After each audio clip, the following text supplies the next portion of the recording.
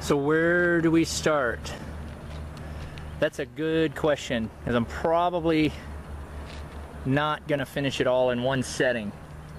So most likely what what I'll choose is I'll choose the worst section, number one, and then a section I can finish. So like right here, I can finish this section 100%, even if I combine both of those sections and that one shingle up there, this section right here I can complete. Then it looks like over there, those two sections, they, they may be separate, they may be combined. I'll figure that out once I start taking them apart. And then of course I've got all these one tabs. So the best thing to do is start in the most critical place first. And as you can see, I got tar paper showing here, which doesn't mean I'm leaking, but comparatively speaking, compared to all the other places, that's probably the worst one. And I've got uh, one, two, three, four, five, six, seven places with tar paper showing. Definitely where I want to go first. However, my first choice is the worst place first. So I think I'm going to tackle these four places and I'm going to do this one here first. So there we go. Okay, so the first step, I got to take shingles out in order to be able to slip my shingles in. This roof is 17, 18 years old. It's just to be a couple of years before it gets replaced. So I'm not worried about replacing the whole shingle. You can replace the whole shingle if you want to. For instance, this is, you can see this is a clean edge here. This is a cut edge. Typically three tabs are called that for a reason because there's three tabs in a shingle. Here's a tab, here's a tab, here's a tab, here's the shingle here. Here's a tab and right here for this shingle. One, two, three tabs. So I'll probably remove this tab because it's damaged. Now, one of the things you need to understand is that in order to remove shingles, first you have to remove the nails. Now you can just tear the shingles out, but that's not really a good way to do it because then you can't just slip your, your new ones right in. So I just want to show you a concept for you to understand. You can see this shingle right here goes all the way up to here. You can see that there's nails in and near the tar strip and there's nails in the top.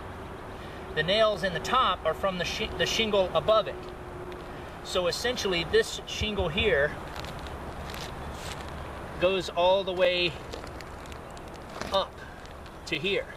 So if I want to take this shingle out, I've got to take nails out up here and under here in order to get this shingle out.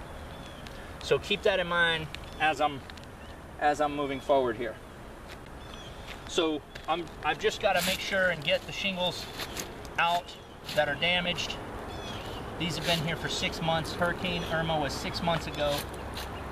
And it's about time I get to fixing these shingles here. Now, what I use is a flat bar. It's just an ordinary maybe it's called a Wonder Bar. I like the, the clean, simple one with no bells and whistles, no curves, no nothing for shingles. It seems to do the trick.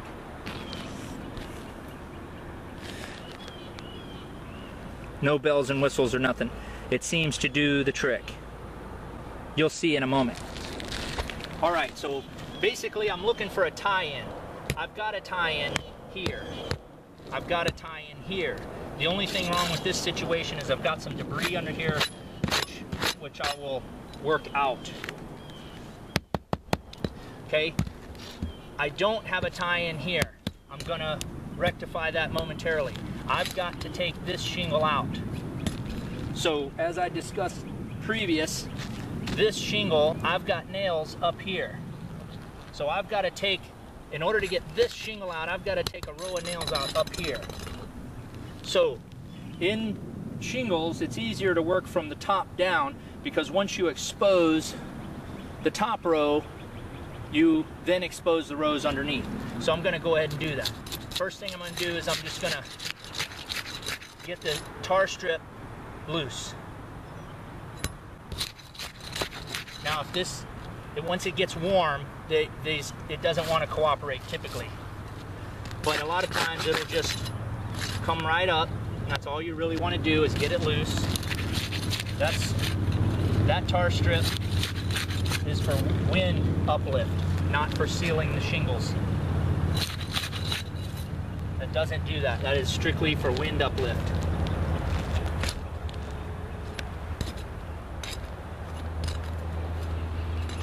All right, I just realized I want to take this one out too, so I'm just going to go ahead and loosen this one up because I'm going to have to pull a couple nails out there too. All right, so there we are.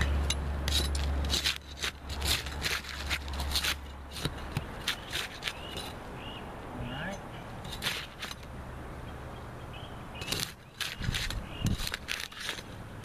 All right, so we're getting there.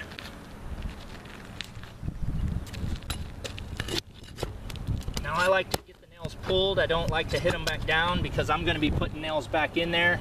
And when I put nails back in there, if there's already nails in there, then the nail I'm putting in there doesn't want to go in. So just a matter of getting all the nails out.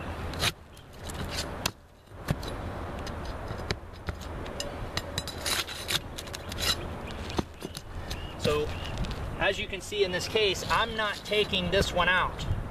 This one is going to be salvaged, but I am going to take this one out, so I'm going to cut it right here because I'm not really concerned about taking the whole shingle. You can do this. If you want to take the whole shingle, go ahead. All you have to do is take out two more tabs. Now sometimes I'll get into it and not want to take the whole shingle and I'll change my mind because I might find another rip. But currently, that's my thinking.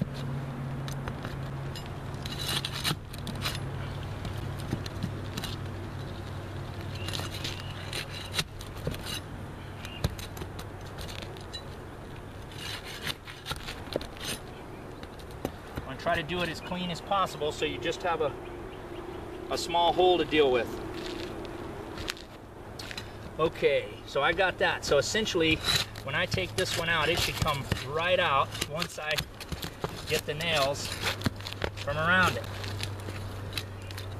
Now this I'm not tying in. I'm gonna replace the shingle so I'm not worried about taking it out as clean. But I will be getting the nails out. Now this one, another, again, I'm gonna only take the tab. So I'm gonna go ahead and take the nails out before I forget, because I will forget And just do row at a time. It's only another few minutes just to try to cover all the bases. If you're doing this for yourself, then it really doesn't matter how long it takes as long as you don't have leaks afterwards. And that's the main thing you want to focus on.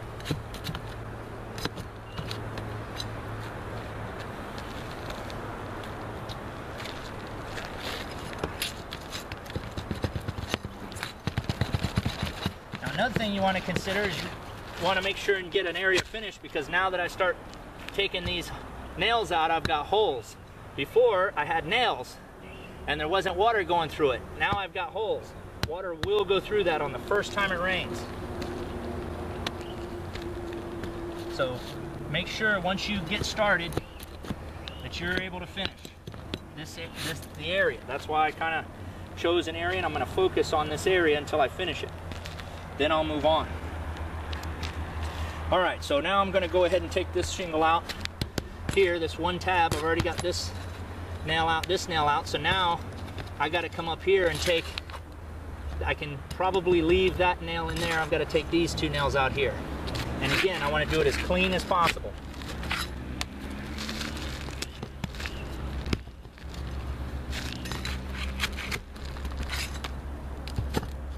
All right, now this is the trick. cutting it straight. So I got a hook blade. I'm gonna reach up under there. Now I'm gonna take another nail out here, get some space. So I can put it back just as well. I'm gonna reach up under there where the shingle ends and I'm gonna turn my hook blade and bring it down.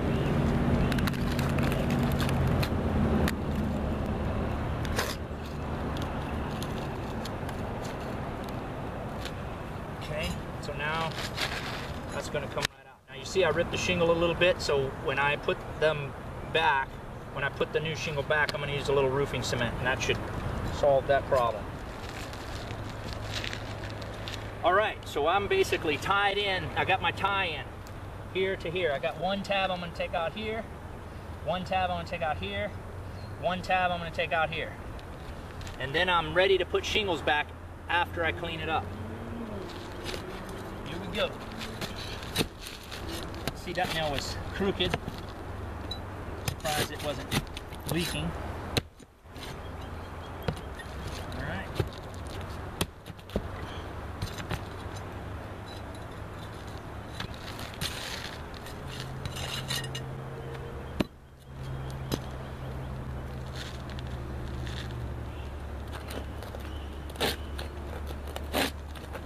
Now you can draw a line on the shingle if you need to make sure that you cut it nice and straight. Once you do it a half a million times, you cut it straight.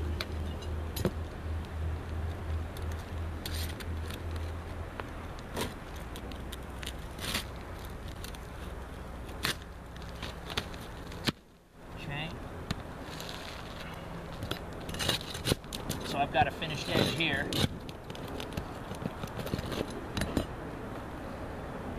And a finished edge here, so this one's gonna come right out. Okay, I'm gonna get those nails out.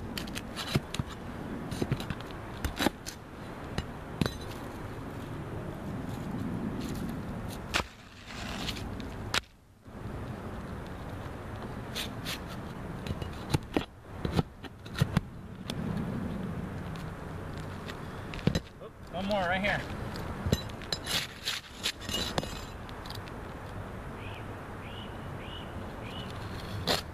You can also cut backwards like that might get it a little bit straighter.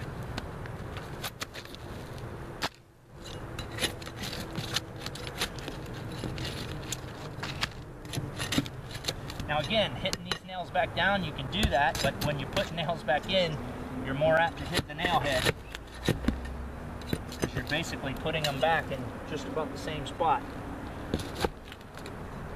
Especially if you did the work to begin with.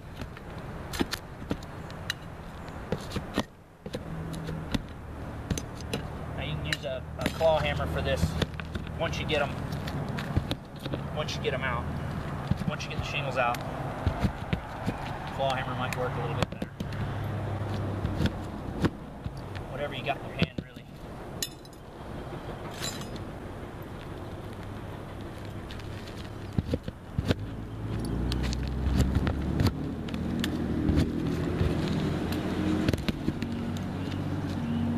Okay, I got, see I got these couple of nails here.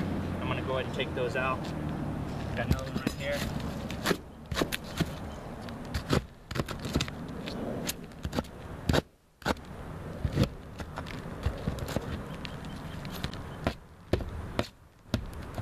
And again, you can leave them in, but not gonna do, I'm not gonna do that. All right. All right, so let's check it over. All I gotta do now is kind of clean it up a little bit. I'm gonna go get a whisk broom for that purpose. Oop, got a nail I missed here.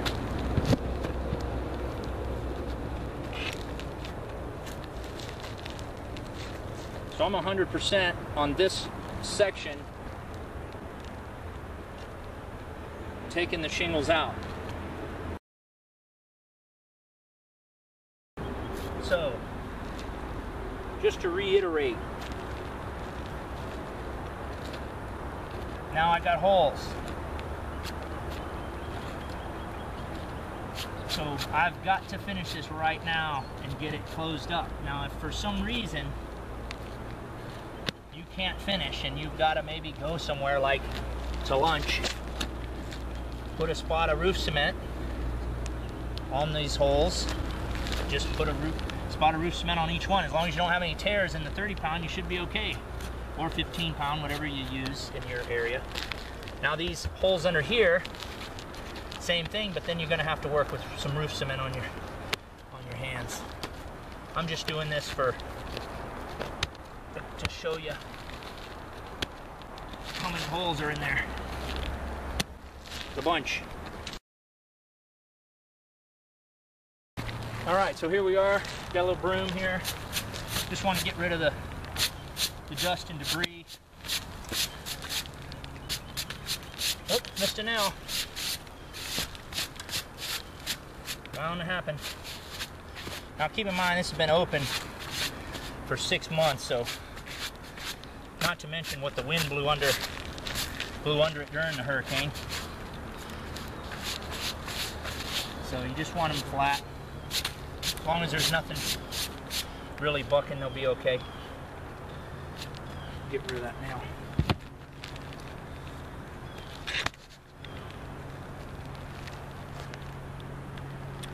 Okay. So now, I'm not going to put down roof cement a lot until I'm in my finishing stages. But anything I don't like, I can go ahead and take care of it now. I got this open. So this is basically a two tab, this is basically a two tab scenario. We gotta get rid of that, that you'll fall down. This is only a 512, so it's not too steep. I'm staying up here pretty good, but it can definitely get slippery if you're not careful. All right, so I got my new channels here. So I'm just to cut a two tab.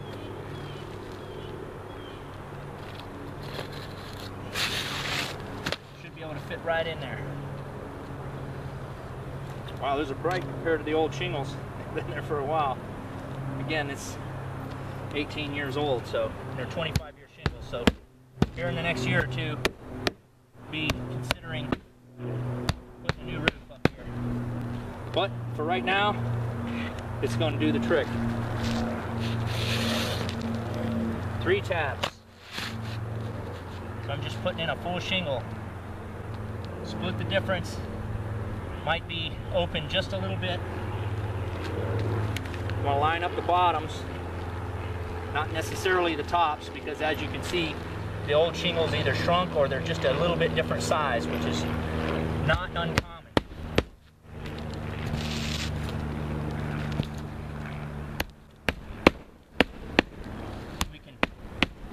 we can put some roofing cement on that if if it's that bothersome. Again, just taking my time. Now right here you can see I've got a a hole that I'm not going to put a nail back in. I'm going to put roofing cement on that. But again, I'm going to wait until I'm finished. I'm going to go over this whole area and I'm just going to put dabs of roofing cement where I feel like I need them All right, looks like I got another three tab scenario here, just a full shingle.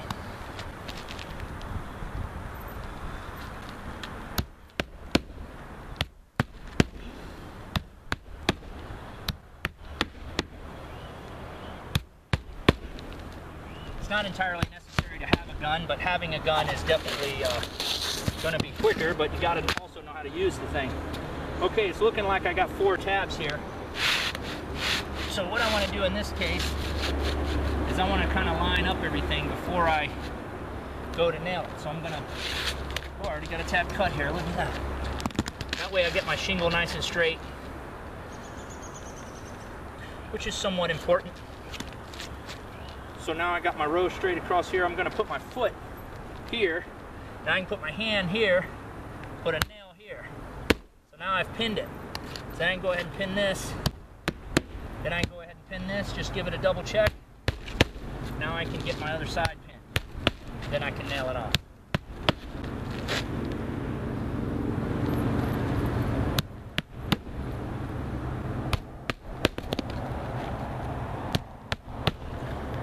So somebody was had a gun when they were installing this, and they went to town. Quicker is better. Not always.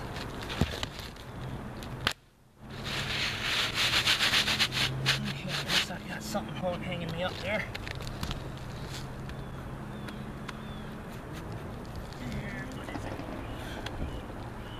Oh, it's a uh, roll of paper. So there's a roll of paper right there where I'm putting that in. Okay, now I need a tab. So because I've got four tabs.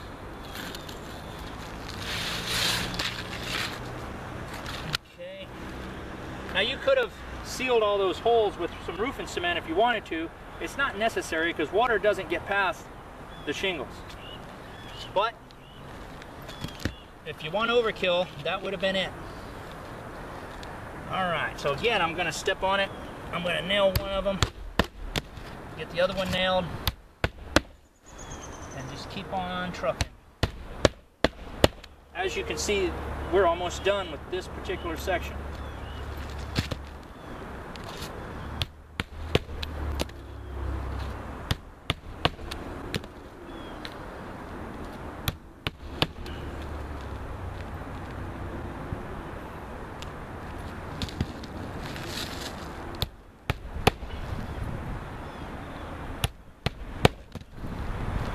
All right, it's looking good here. All right, so I need to nail, again, nail this up here. And I have a couple of shingles or nails out up here, so I need a tab.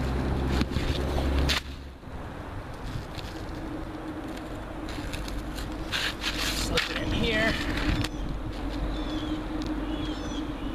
Okay.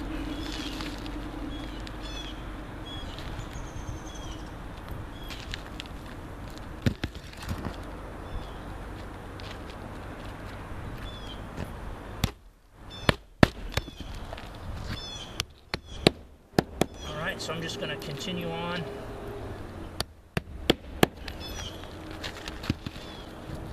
And here's I got two holes. Don't really want to nail in that hole because then you're not doing anything, even though it's going to leave a hole.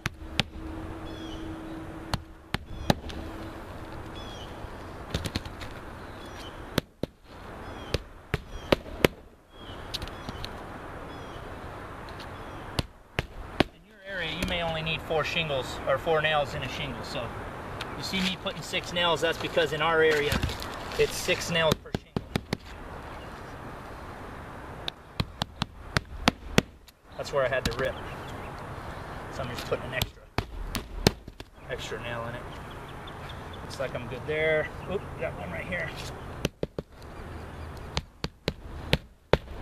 Nope, almost got myself in the nose.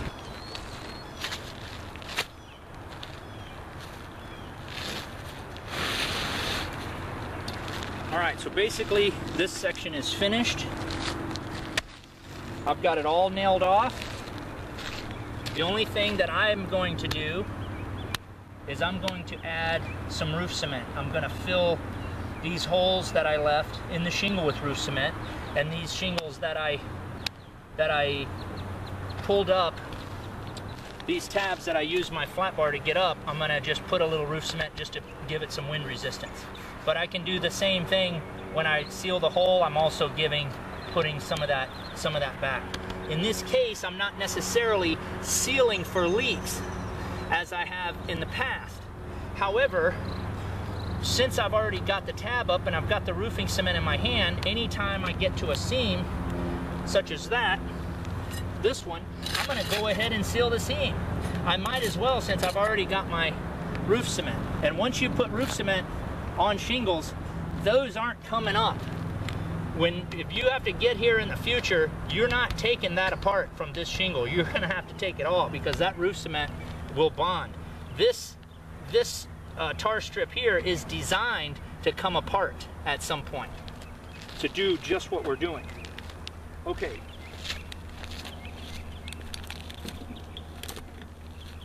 Whoa.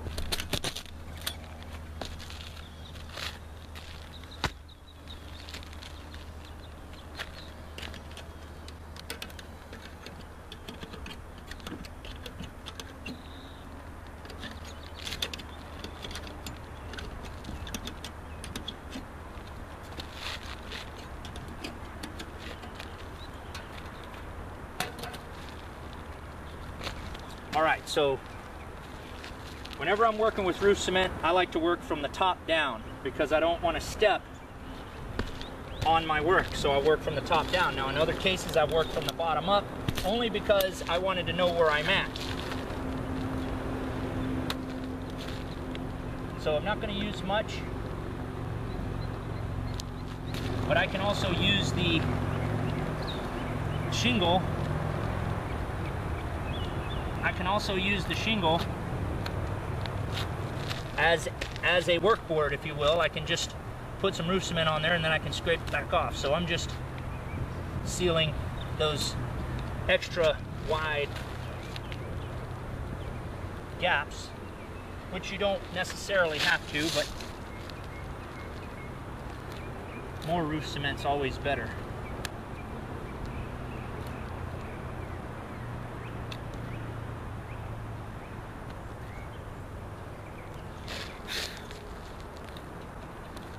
So I just took care of the nails on that one. And what I'm doing is one row at a time. So as I'm coming through, I'm trying to finish one row at a time because as you can see, if you jump around, you're gonna get lost. But just gotta take your time and go back. If you need to go back, go back. Just once I get down, I'm not wanting to get back up.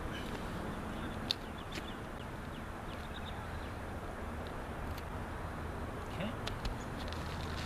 All right, so I got that row. I got that row. Next is this row.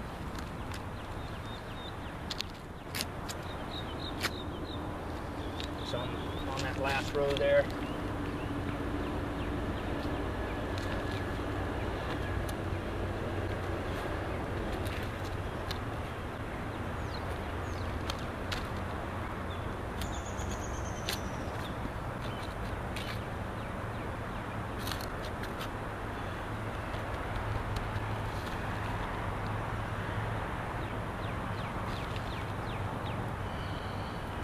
See, I've got a tar strip there, so that's gonna be okay. It's the row above.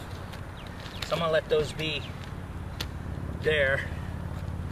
It's just the older shingles I'm concerned with. Oh, looks like uh,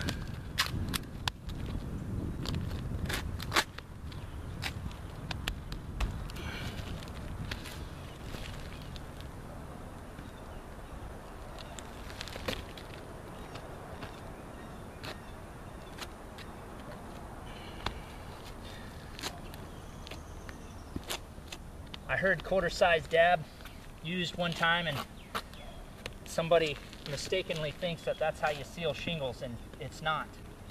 It's for wind resistance. The only way you can seal them is to put roof cement underneath.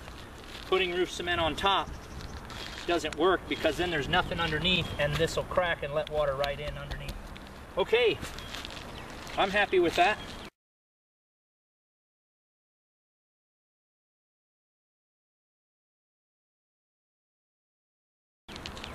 So that's one section out of 15 other sections I got to work on. So I'm not going to bore you with the rest of them. I'll include you when I have to when I have to get up there on the ridge. When I have to get up there on the ridge and take apart that ridge vent right there